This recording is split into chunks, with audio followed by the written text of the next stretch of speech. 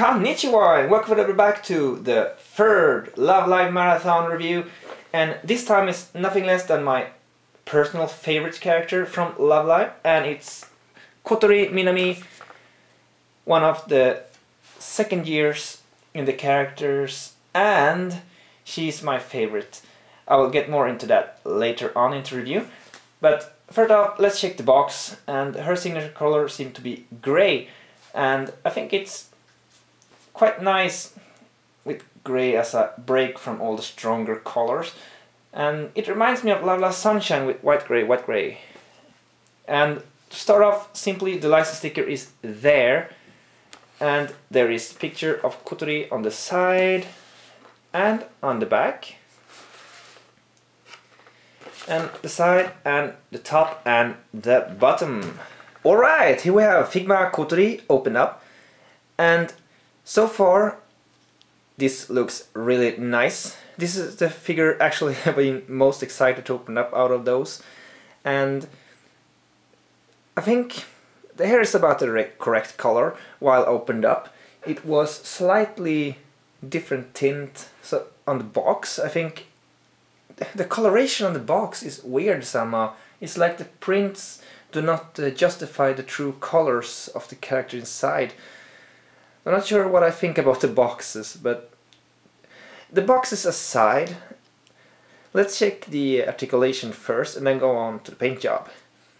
So basically there is shoulder ball joint, but somehow this is smoother than Umi. It goes more uh, high up. It's somewhat like her joints are more smooth somehow.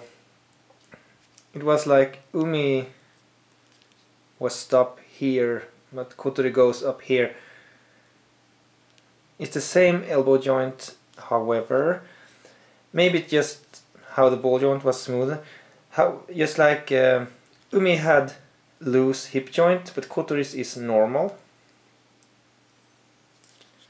And there is torso joint as well because this top is soft the vest that's uh, over the shirt.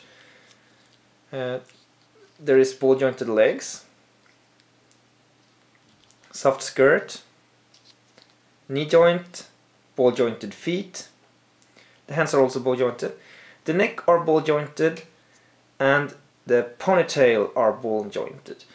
Just like with Umi however the hair is stiff so there's no joints whatsoever.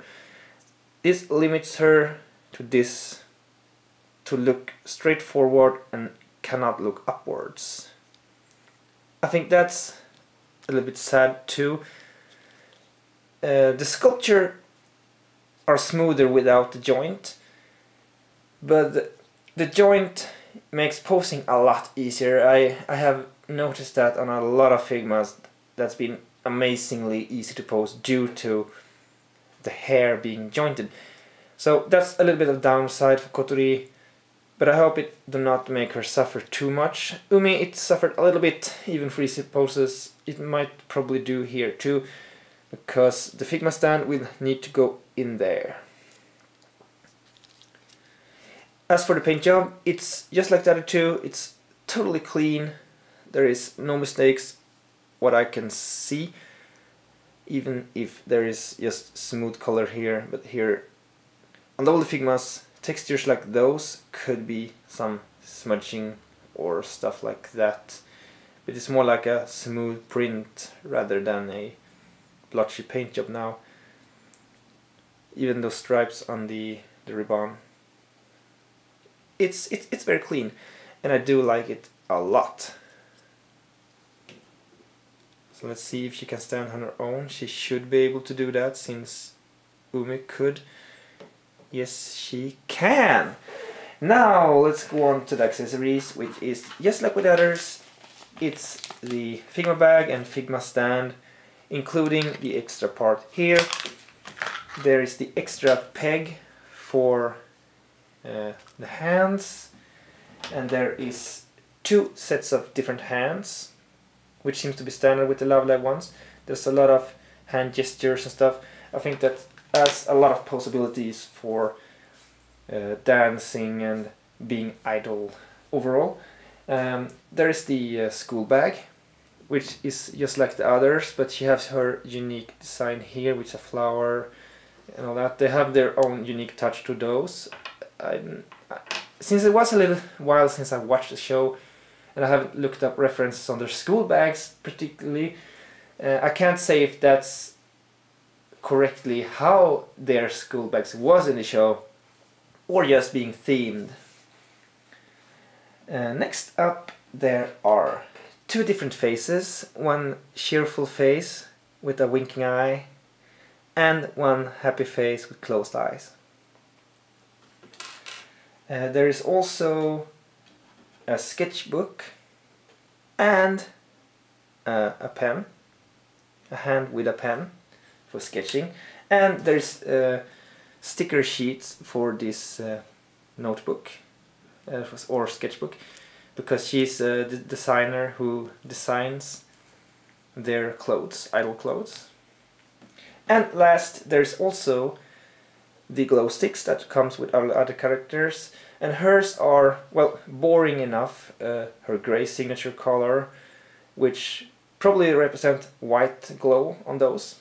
A little bit colorless. It worked nicely on the box because the box was probably better out of the boxes. However, uh, on the glow sticks maybe a little bit boring, but it works.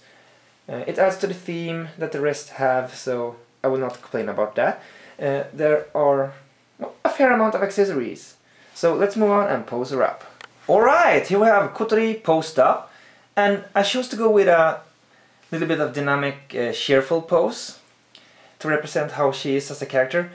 And that's why I love her, because she's, she's cheerful, and she's full of energy, and she's a little bit of the comic relief, especially the maid scene of the of the series when she's trying to run away from the others to hide that she's working as a maid, even if it's not anything really to be ashamed about. And she is such a cute little bird. Uh huh. Well, because she's called a bird for name Tori in Kotori, that means bird. And uh, her design is also really cute so she looks fluffy and nice and also those alpaca scenes. She's simply a character I do like a lot in the series and she is my overall uh, Love Live favorite. There's a lot of good characters in Love Live but she is on the top as it stands right now and I do really like the figure as well as said the paint job is really clean the figure is really accurate. But the only thing that uh, puts it down slightly, just like with Umi, is the hair. It makes even simple poses hard to make dynamic because it can stop you from making the angle of the neck you want her to tilt her head or stuff like that in order to make it as you want it to. That's a little bit of the downside overall because most Figmas with long hairs have jointed hair so I don't really understand it. But except for that, I keep nagging about that a lot, but it really bugs me at some points. But it is a really nice figure. And it's one of my favorite Figmas because it's one of my favorite characters. Still. And it's probably my favorite Love Live Figma so far. Despite that. Honoka is my favorite so far for posing. But uh, Kotori is the overall favorite as it stands right now. And be, being my favorite character, it's hard for any of the others to, to top her on the place as a favorite overall. So let's just say Honoka is a favorite Figma-wise because of the posing then. But overall, Kotori is my favorite. So let's give her a little turnaround to check out the pose, even if it's not complicated. But overall, it is a very very nice figure and the detail and sculpture is nice and improved as always and the joint works smoothly and all that. So I think I will conclude the review at that. So I hope you will look forward to the next Love Live review tomorrow and until then stay tuned, take care and sayonara!